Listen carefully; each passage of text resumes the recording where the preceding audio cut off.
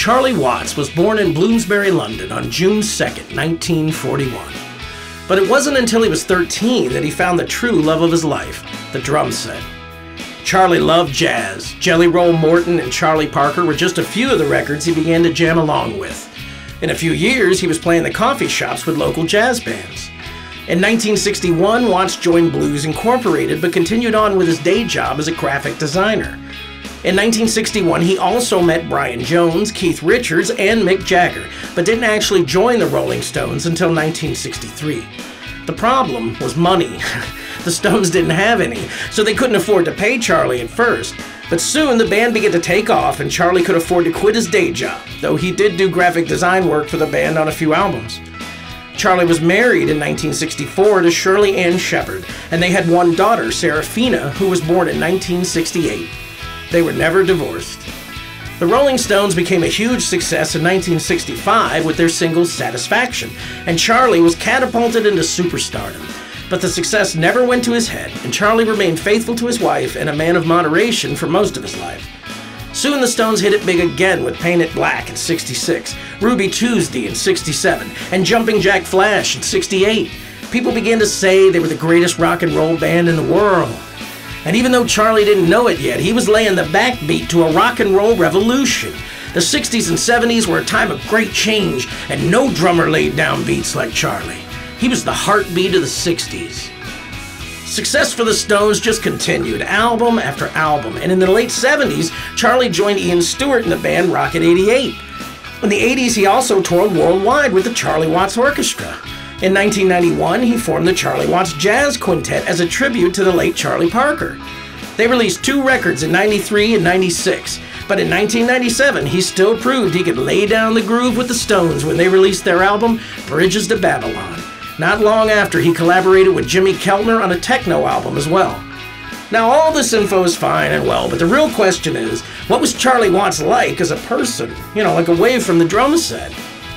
Well, most define him as a quiet, well dressed, mild mannered man, a distinguished gentleman in every respect. But he, he did have his moments. And here, I'll tell you a funny little story about Charlie, just to show you the kind of guy he was.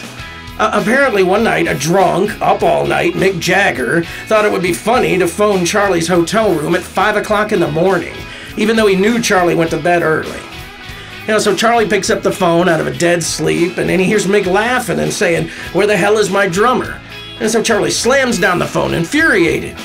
You know, but then he gets up and he goes in and he shaves.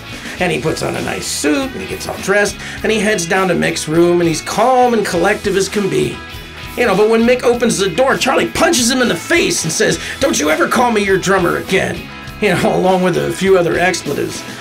He then quietly goes back to his room, undresses, and gets back in bed. Now, Charlie apologized for this incident in 2003, so there are no hard feelings between he and Mick. I'm sure they both laughed about it in the end. But this incident does show that while Charlie was quiet, he knew how to stand up for himself if he needed to. Now, after the year 2000, Charlie spent most of his free time at home, preferring the quiet life. But he did still make albums and tour with the Stones.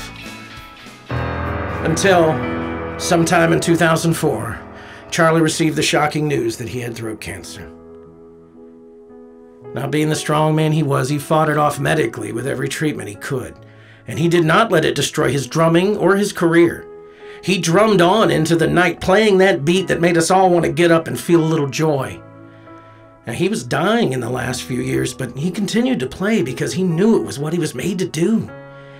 He continued on in this brave manner until 2020, when the illness took a drastic turn for the worse.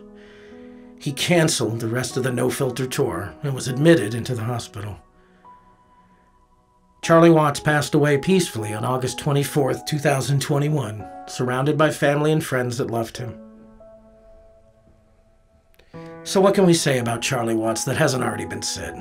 He was clearly one of the greatest drummers to ever play, though he himself always turned away from such titles. I think if Charlie Watts showed us anything, it was that rock and roll doesn't have to be about sex and drugs and money and greed and all the things that are always tacked onto it, but rather it can be about creating a sound that allows people to feel free in their souls.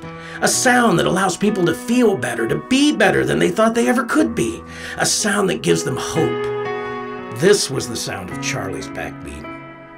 and may it beat on and bring hope into this world until the end of time.